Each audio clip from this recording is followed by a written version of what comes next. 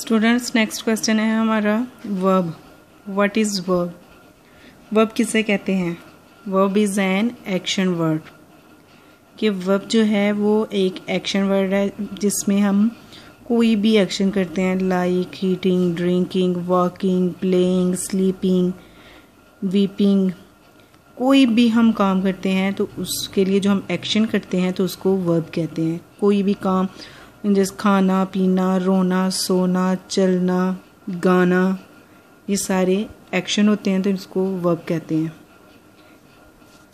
अब next question है हमारा fill in the blanks with the given verbs on notebooks कि हमने ये जो वर्ब फिलिंग ब्लैंक्स है, इसको हमने नोटबुक पे राइट करना है तो हम इसके लिए, फिर इसकी फिलिंग ब्लैंक्स भी फिल करेंगे।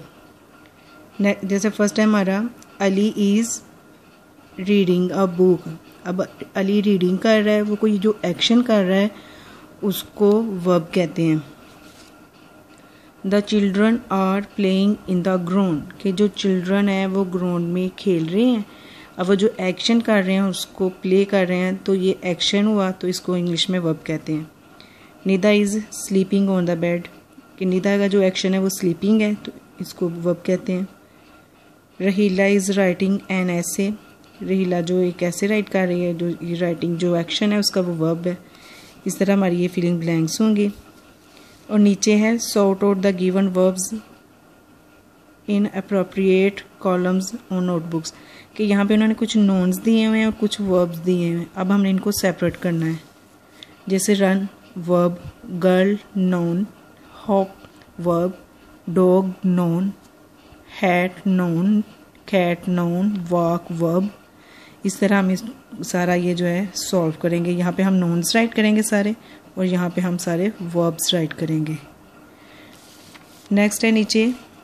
यहाँ पे उन्होंने सीन दिया हुआ है। यहाँ पे बस भी है कार्स भी है साइकिल बाईसाइकिल अब हमने इसमें देर इज़ और देर आर का यूज़ करना है। जैसे इसमें आपने फाइव सेंटेंसेस बनाने हैं।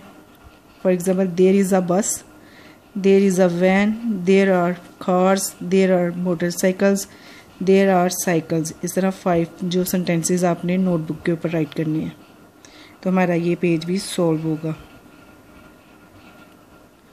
स्टूडेंट्स नेक्स्ट है। हमारा टॉपिक है सिंगुलर प्लूरल सिंगुलर कहते हैं वन थिंग को और प्लूरल होते हैं ज़्यादा।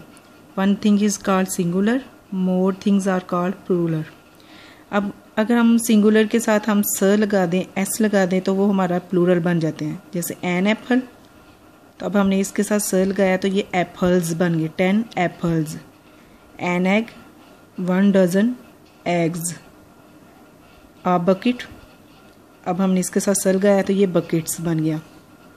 इसी तरह a girl four girls a zebra three zebras a car two cars हम जब भी सिंगुलर के साथ स लगाएँ तो वो प्लूरल बन जाते है. इसी तरह हम ये वाला भी से करेंगे सॉल्व स लगाएँगे सिंगुलर वर्ड के साथ तो वो प्लूरल बनते जाएँगे। Bird birds cook cooks farmer farmers coat coats river reverse तो ये इसी तरह हमारा ये स लगाने से सिंगुलर बने। अब हमने ए और स लगाएँगे तो हमारे वो प्लूरल बनाएँगे। तो जिसके एंड पे ह आए वर्ड के, या ठ आए या खस आए या स तो उसका जो, उसके साथ हम ए और स लगाएँगे। सिंगुलर चीज़ के साथ अगर एंड वाले वर्ड का एंड वाला लेटर अगर ह हो, स हो, खस हो, ठ हो तो उसके साथ हम ए और स लगाते हैं। जैसे bush bushes coach coaches brush brushes box इसके एंड पे खस है, इसमें भी एस लगाएँगे।